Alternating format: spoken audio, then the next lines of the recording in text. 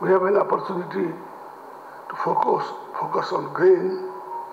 We have an opportunity to focus focus once again on the implementation of sustainable development goals.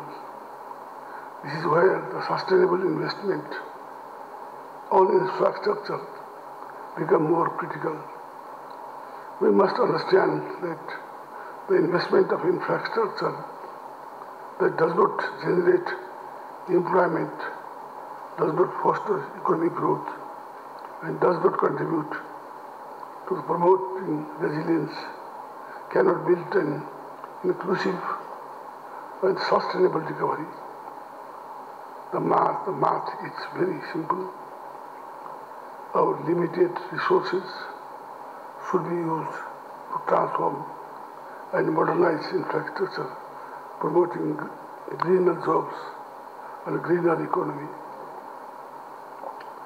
I am pleased to inform you that we have incorporated this spirit, including through mainstreaming SDGs into our national plan, policies and programs. The government has been implementing the 15th periodic plan with a focus on development and resilience infrastructure. We have made national commitment to, to reach a scenario of zero, net zero greenhouse gas emission by 2045. However, it is easier said than, than done.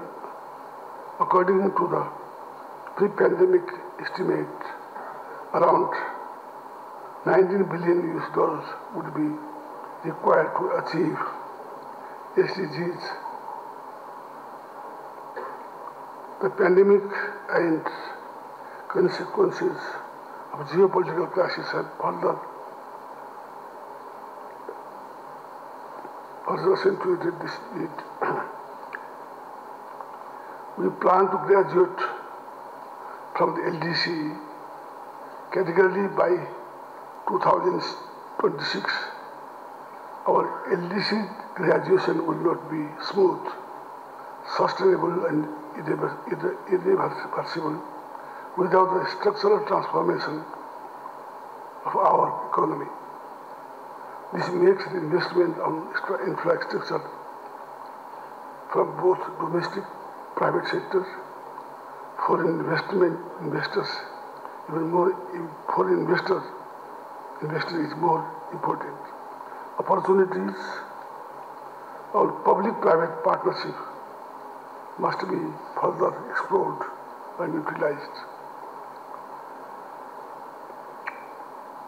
The IBN has a pivotal role to play in this regard.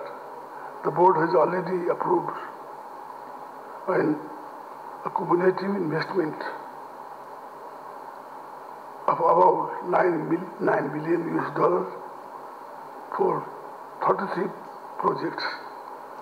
20 of these projects are related to the development of green and clean energy.